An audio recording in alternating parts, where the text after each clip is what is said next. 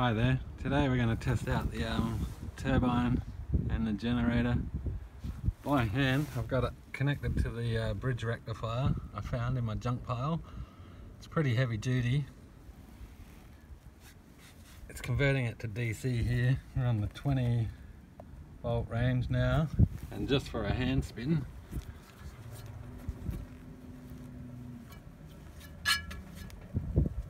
we're delivering nearly 8 volts. At that speed? Not very fast. And for a short circuit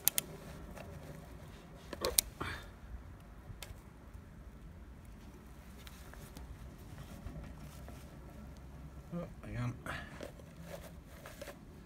milliamps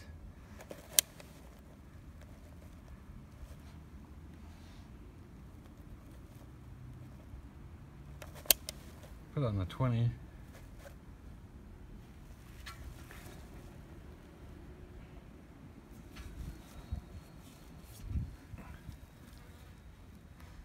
I'm gonna test it with the water blaster actually. So I'll um, fire that up and see what I can get. It's gonna be hard to hold. I'll set up a little stand for the camera I think. I'll be back. Amperage had to go to the 10 amp range for a hand spin. Where 1 amp at that speed 500, 400, 300 milliamps That's a short circuit there It's one amp by hand. Alright, I'll connect the um, water blaster. Okay, I got a clamp on the hose in the bucket now. So,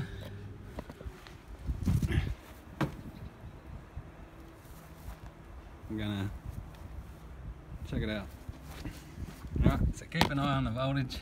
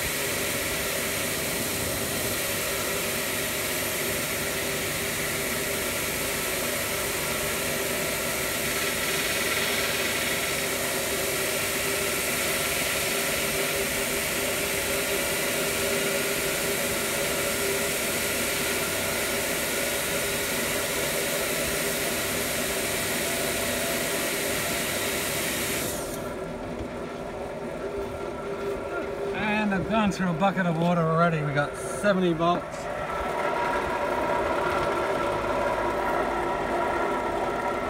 It's not balanced or anything yet. It's bouncing around a bit. And it got a bit wetter than I wanted it to. So we're still pulling out 44 volts DC rectified. And if I'm game enough we'll short circuit it. 4 amps. That slows it down quite well. Well there you go. I think it's a two-man job really for this to film this and to use the water blaster. Uh, I'll let it dry and then I'll strip it apart and tell you about it. Okay, I'm going to do another test. This time I've got the hose connected to the water blaster instead of that bucket. And I got the cowling on so the water should not go over here. Alright, So we're on the 200 volt range. Keep an eye on that.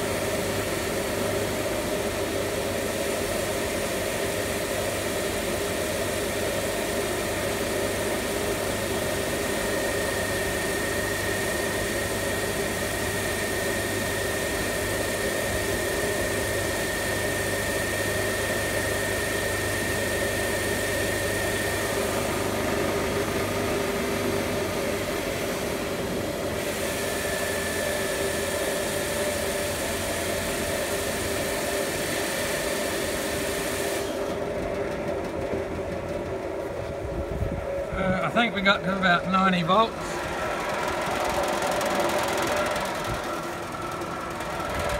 Pretty hard poking the water blaster in that time.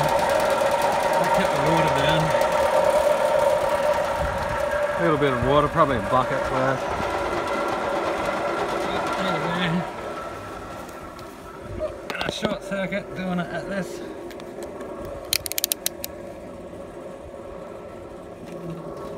Twelve 12 amps max. That's not too bad. It's coming to a crawl now. Still 800 milliamps. Okay, hopefully the camera's in its right orientation. Flipped over on the last test. Alright, I'll let that dry and I'll um, tell you about it. So the test with the water blaster wasn't too bad. I was quite surprised it um, performed quite well, even though it's not balanced. Um, everything was cut by hand mainly. I um, made this aluminium billet and got the local machinist guy to um, machine it up for me. That was made out of scrap aluminium and um, everything's pretty much scrap material. The copper wire for the coil was scrap, the plates.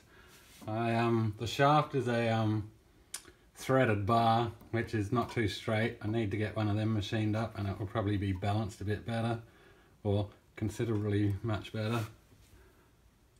So I'll just take the first magnet plate off.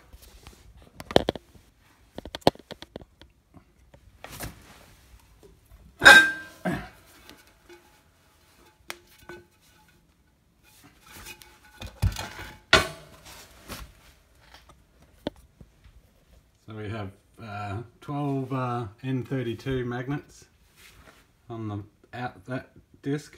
There's another disc tucked in there with the same setup. Oops, the magnets are quite strong. They keep attaching to everything. Uh, the coil, it's nine coils. It's a three phase. Uh, they're color coded. If I put this here, I can't see the top ones.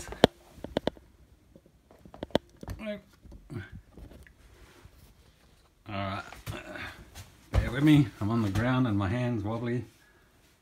Alright, we have the black one, one, two, and three make one phase.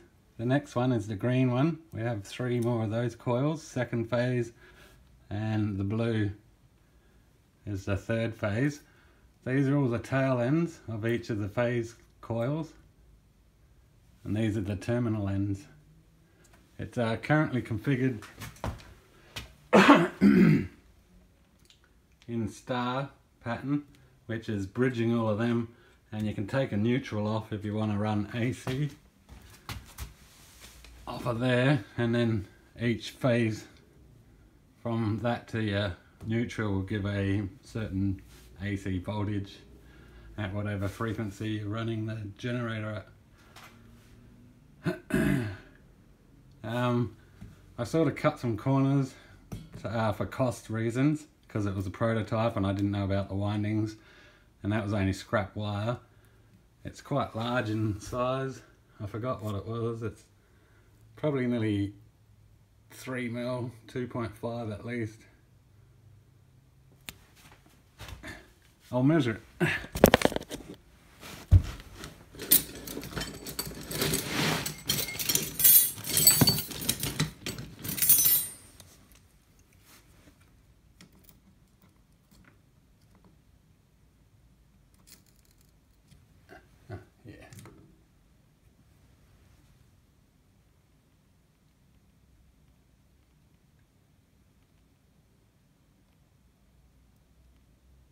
It's two mil.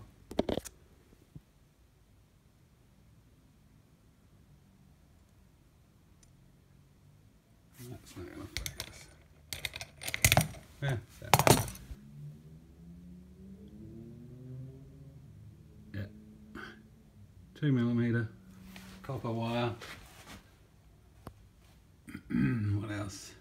Ah, yeah, with the um fiberglassing. Um, it was going to cost what something like two hundred dollars for four liters of um, the resin for molds, or eighty dollars for the just um, laminated fiberglass. Um, as you can tell, it doesn't like being really thick.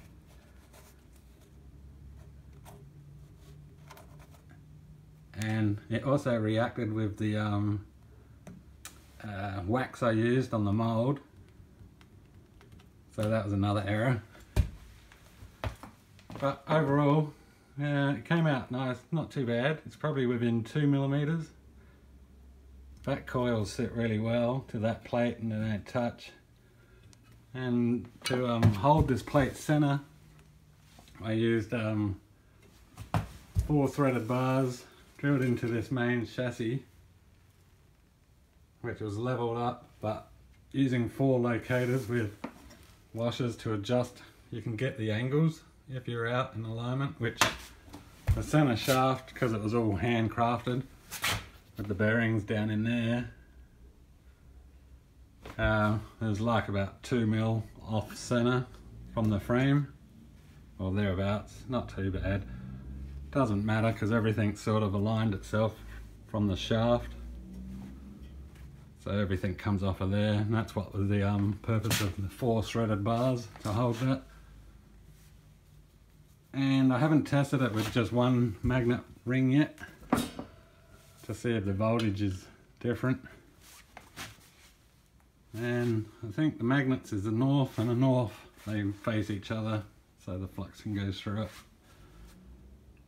Yeah, so things taken about oh, three years or so to collect the parts and whatnot. Magnets are quite dear. Seven bucks a piece. They're only N32s, they're 25 by 50 by 10 and the plate thickness needed for the magnet is has to be um, bare minimum is half of the magnet thickness to transfer the flux they say yeah so I guess um, overall performance ain't too bad. This was an old welding frame thing which was a welder which I stripped down which this copper came out of. Uh, and the scrap man only wanted like two dollars a kilo for the wire and it was perfectly good. Like I unwound it and wound these coils. They're 90 turns each.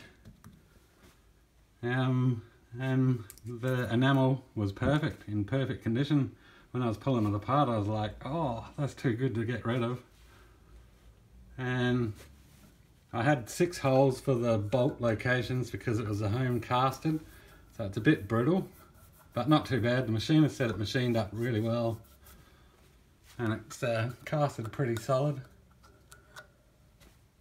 So that was one of my first castings. It was just um, clay sand and clay mix. And the clay mix was clumping kitty litter. Crushed up, of course, and then mixed.